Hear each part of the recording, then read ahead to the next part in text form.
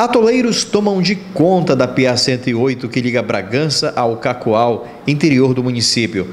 A estrada que recebeu alto investimento do Estado virou tormenta aos usuários. A tranquilidade termina bem aqui aonde acaba o asfalto. Daqui para frente, muito atoleiro em uma estrada que recebeu investimento de quase 5 milhões de reais. Foram investimentos de quase 5 milhões de reais. No governo do estado, R$ 4.296.141,16 com contrapartida da prefeitura de R$ 585.837,42. Quem olha deve se perguntar: aonde foi investido tudo isso?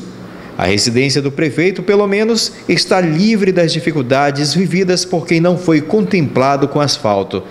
As chuvas pioram a situação da estrada de chão.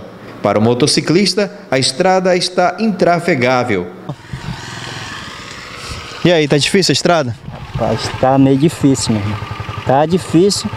Quem vai aí pro lado do Monte Alegre, ah, tá feio, tá feio o negócio, viu?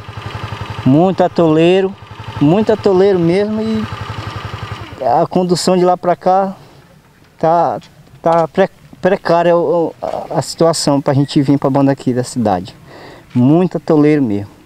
Queria que o, do, o senhor viesse ali para mandar dar uma olhada lá para ver como era que está a situação nossa lá.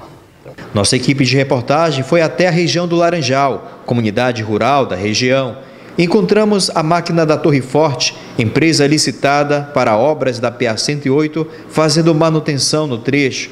Segundo dos funcionários, trabalhos de melhoramento estão sendo executados ao longo da estrada para acabar com os atoleiros.